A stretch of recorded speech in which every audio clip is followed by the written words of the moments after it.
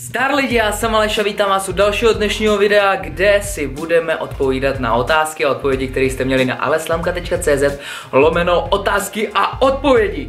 Mám je tady napsaný, otevřu si je a jdeme na ně.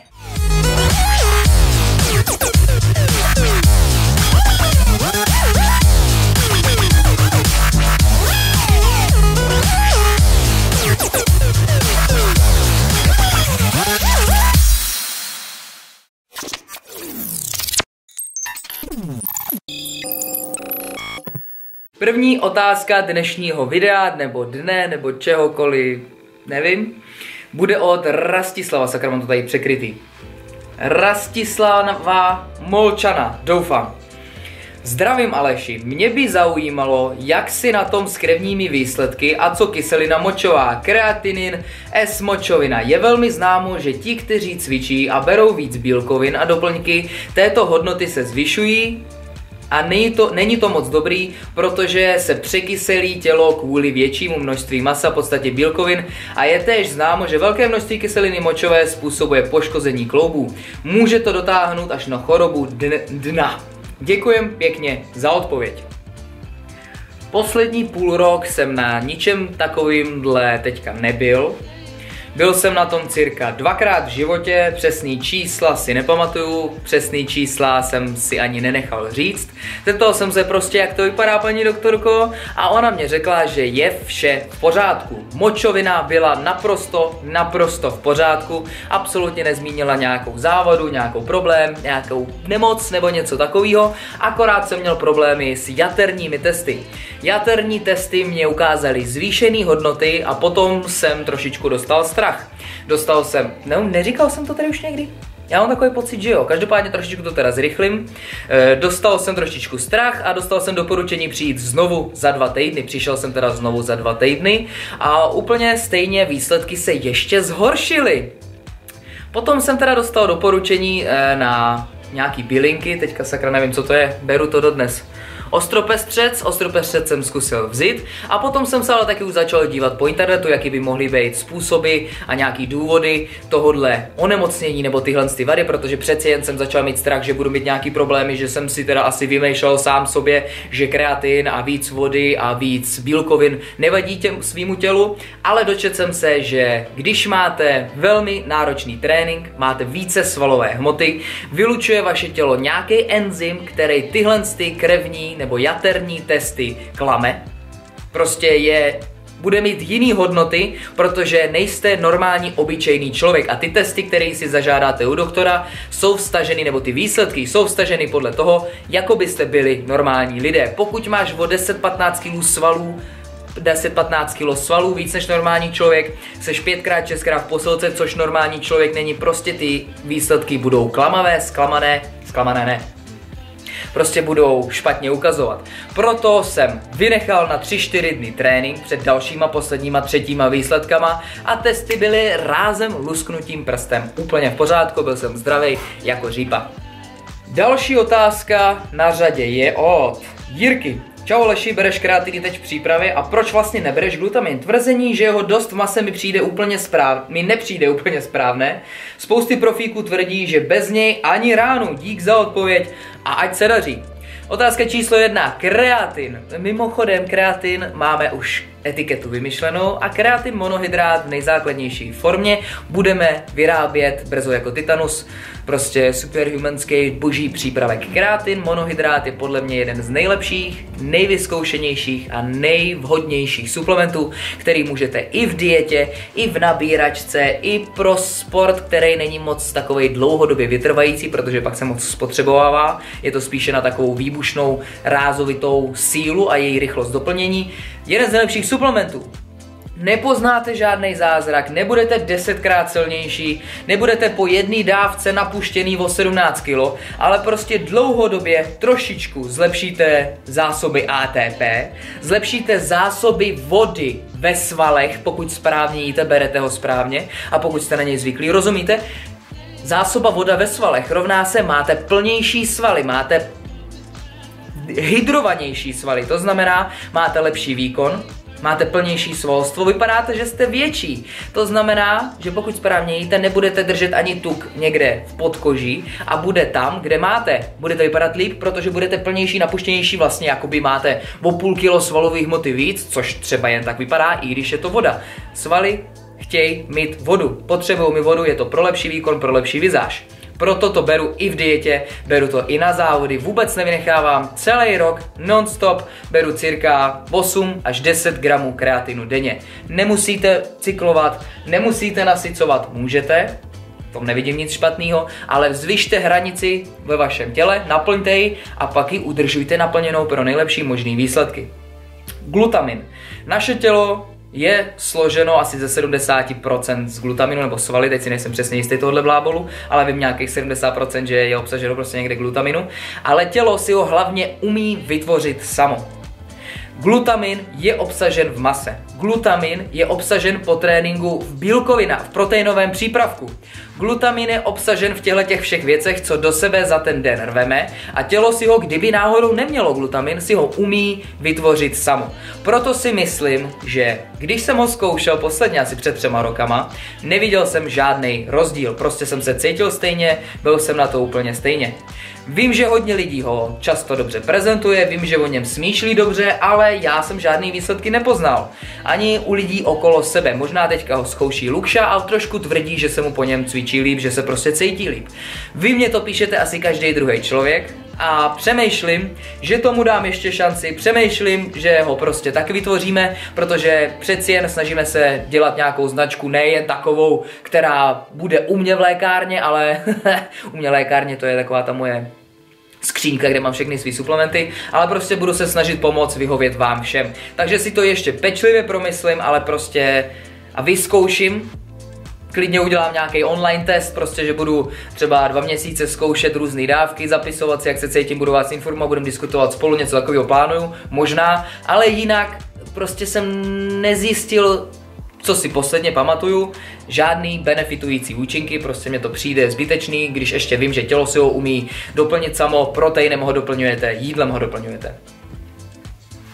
Můžou mít taky lidé, u kterých ho vidíte nakázáno od své firmy, abyste ho říkali. Víte, musíte takhle na to koukat. Když je sponzorovaný atlet, očko, u nějaký firmy, která vyrábí glutamin, eh, pravděpodobně bude tyhle věci prezentovat jako, že jsou nutný, když je opravdu brát nemusí. Může se stát. Nesmíte všemu věřit. Pozor, pozor.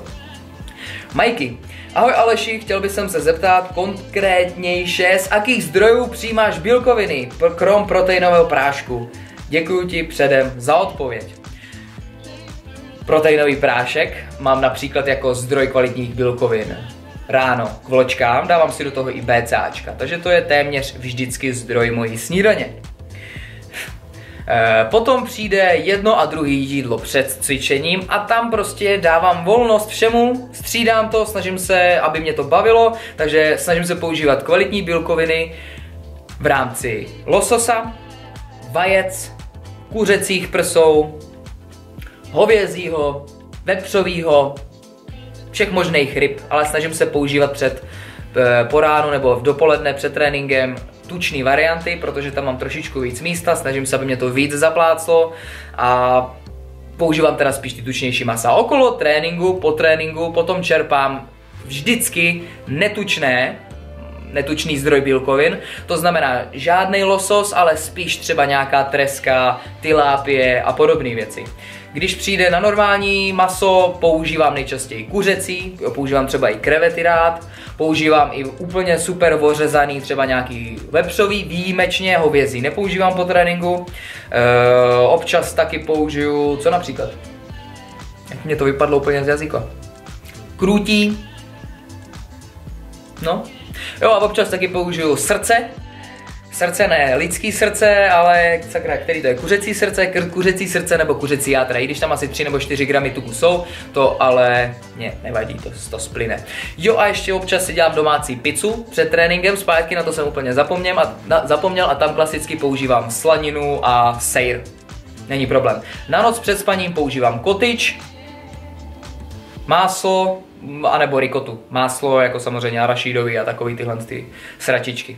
To jsou všechny zdroje bílkovin, které používám. Ale může se stát, že občas prostě udělám nějakou výjimku, Prostě nemám žádný pevný regiment, regiment, jakože třeba 6krát denně kuřecí nebo něco takového. To by mě nebavilo. Snažím se dělat vždycky všem hodně variant, sobě i svým klientům.